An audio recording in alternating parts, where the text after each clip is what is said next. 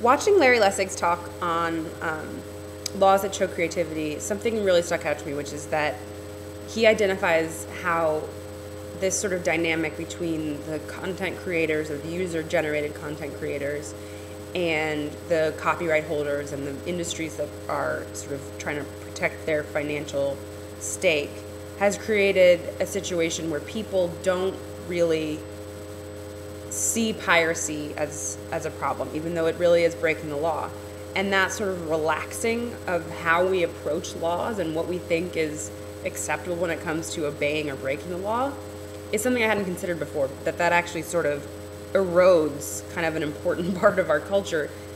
And he's right. I mean, I don't view piracy. I mean, it's just something that isn't as bad to me as of the other laws that I obviously uphold. But I think he's absolutely right in saying that people have an instinct to want to share and create and respond to each other and respond to their culture.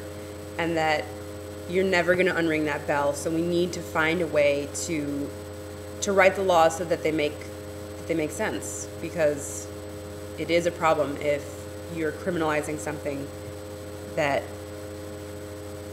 shouldn't be criminalized and thus when people break the law it normalizes their their view on breaking the law. I think that he's 100% right about that.